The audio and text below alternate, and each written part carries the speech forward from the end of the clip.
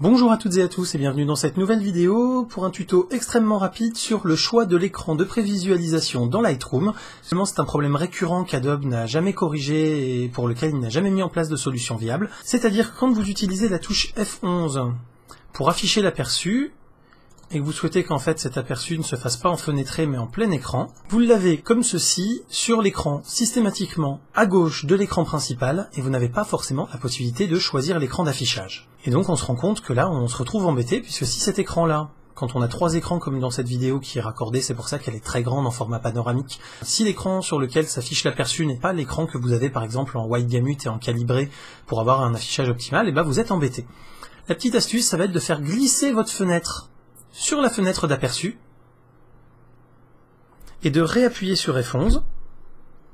Et là, vous voyez, automatiquement, il va choisir un autre écran que l'écran sur lequel il s'était affiché au départ pour pouvoir vous mettre la fenêtre de prévisualisation.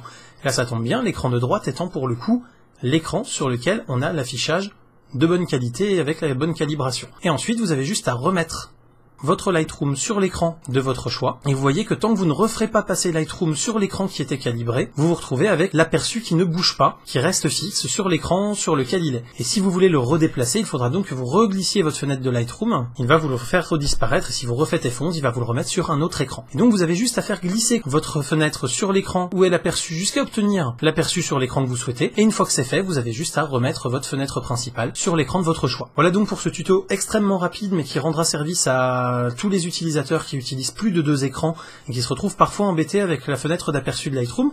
J'espère que cette vidéo vous aura plu. Si c'est le cas, vous n'hésitez pas à lui mettre un petit pouce vert pour m'encourager. Vous pouvez également la partager sur les réseaux sociaux avec les liens qui sont ici sur le bord de l'écran.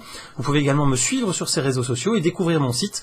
Et bien sûr, euh, vous abonner à la chaîne avec le logo de YouTube qui est tout en haut. Voilà, je vous dis à très bientôt pour plein de prochaines vidéos sur les photos, l'informatique, les technos. À très bientôt, salut à tous, bye bye